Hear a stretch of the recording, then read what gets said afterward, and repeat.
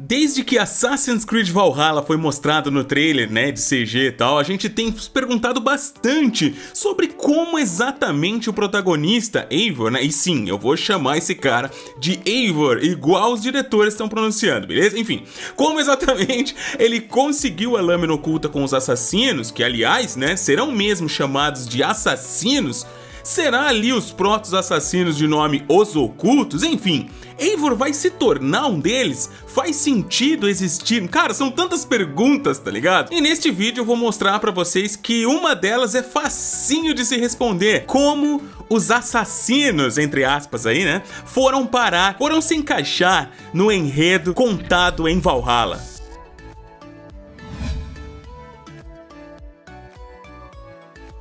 Fala fiotes, eu sou o Kalil e bem-vindos a mais um vídeo aqui no canal Gamer Liu Games. No vídeo de hoje, voltamos com Assassin's Creed Valhalla e uma questão bem interessante, né? Como os assassinos foram parar lá na Inglaterra, mas antes disso, convido vocês a assistirem depois deste vídeo, né? O outro vídeo mais recente postado no canal, onde eu falo sobre as impressões que eu tive do novo State of Play, que finalmente nos mostrou um gameplay bacana de Ghost of Tsushima. Como é um game que eu pretendo explorar muito aqui no canal e já temos feito uma certa cobertura sobre ele, né? Seria bom para já ficarmos, você e eu, na mesma página, na mesma sintonia, beleza?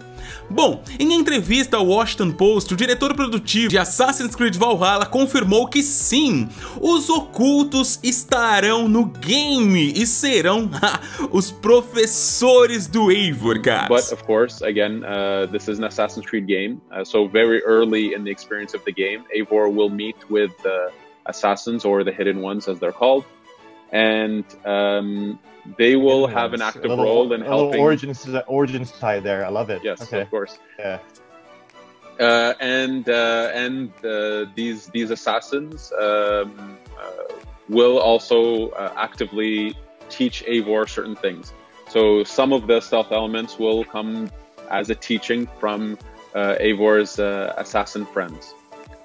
Tá aí, Tá confirmado, eles ainda não terão, né, consigo o nome de assassinos, como a gente já havia previsto aqui no canal. A Irmandade, ela estará se espalhando pelo nome de Os Ocultos ainda, e segundo o que vimos aqui, darão um treinamento pro protagonista Eivor. Isso me deixa muito animado, porque veremos mais uma vez uma história de caminho do herói, saca? Digamos assim, o cara meio que tropeça na Irmandade, se simpatiza com ela, é acolhido, doutrinado, iniciado e quem sabe, né, até um futuro mentor da ordem. A gente não sabe qual vai ser o desenrolar da história, né? Eu curto demais esse tipo de coisa. Muito estava sendo especulado pela comunidade nos fóruns em que Valhalla seria meio que um Edward Kenway 2.0, saca? Que foi um pirata e se tornou um assassino. Na verdade, na minha opinião, tá? É algo bem estranho, porque ele matou um assassino, vestiu a roupa do cara, ganhou a lâmina oculta lá em Havana e, meu, dali ele já passou a mostrar para todo mundo as habilidades dos assassinos. Hã? Cara, na real, eu não curti, tá? Vocês me julguem, tá? Eu não gostei. E muita gente também achou estranho, porque recentemente tem sido algo muito comentado, porque o medo da galera era que fizessem do Eivor algo parecido com o que foi feito com o Kenway. Tipo, o cara tropeça lá na Irmandade e já sai fazendo tudo que os assassinos faz. Agora, com a afirmação do diretor de que ele terá um treinamento pelos ocultos, velho, me anima demais. Claramente não vão cometer a mesma estranheza, né, vulgo erro, que houve em Black Flag. Outro detalhe que nos levanta a orelha, né, é que se Eivor ele vai ser treinado pelos ocultos, no final, ou mesmo em um certo ponto da jornada do jogo, ele vai se tornar de fato um deles. Tudo indica que sim, mas no gameplay em si, pessoal, como isso funcionaria? O que nós da CBR estamos assim cogitando, debatendo entre a gente, né, é que o quão louco seria se víssemos um ritual mesmo de iniciação ao credo, igual com os outros envolvidos, né, ali na Irmandade e tal, onde ele, nessa iniciação, né, em respeito ao credo, passaria a usar a lâmina oculta como os demais, por debaixo do braço, removendo também o anelar. Imagine que isso seria seria como um último update da lâmina, já que os diretores já confirmaram que cada peça, né, vai ter aí a sua personalização única. Se a lâmina oculta ela for tratada como uma arma também personalizável, igual é que a gente vê lá no Bayek em Origins, imagina que louco que seria isso. Tipo, a última, o último update, a última personalização tal, seria utilizar ela para baixo e tirar aí o anelar. Só que isso iria depender de certo capítulo da história, tal. Meu, eu adoraria isso, mas e você? Deixa aqui também a sua opinião, tá? Mas a questão do vídeo é como que os ocultos chegaram na Inglaterra? Isso faz algum sentido?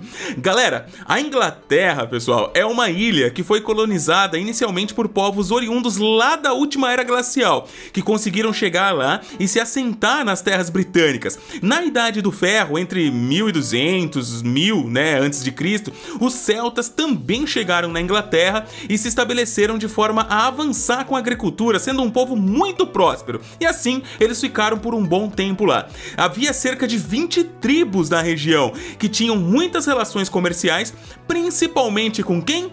Os romanos, tá? A região era conhecida como Ilhas Cassitéritas pelos gregos e como Britânia pelos romanos. Em 55 a.C., Júlio César, quando ainda era um general romano, ele fez uma expedição para a Britânia. Chegou a derrotar um rei, né, de uma das tribos, mas ele parou a sua incursão devido à revolta de Gália, que estourava na região atual da França, e por isso ele precisou voltar, tal. Mas em 43 depois de Cristo, ou seja, quase 90 anos depois, o imperador romano Cláudio voltou para a Britânia e dessa vez ele conquistou o lugar, tornando-a em uma província romana. A primeira cidade estabelecida foi a de Londinium, que mais tarde viraria London, Londres, né?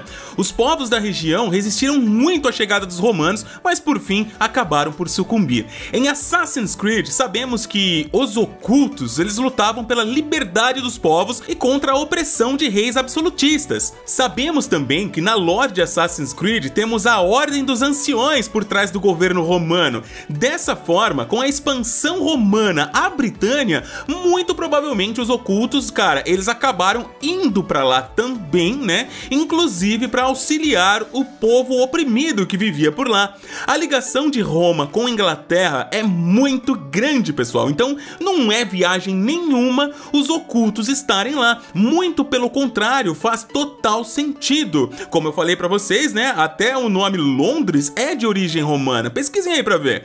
Os romanos só deixaram a Britânia, agora já Bretanha, né, em 410, com o início do declínio do Império Romano no ocidente. Dessa forma, a Bretanha passou a ser povoada pelos anglo-saxões, né, em sua maioria, os jutos e frísios. Inclusive, a presença dos anglos deu nome ao país, que seria, entre aspas aí a tradução, né, terra dos anglos, England, do inglês arcaico, que acabou virando mais tarde England, Inglaterra.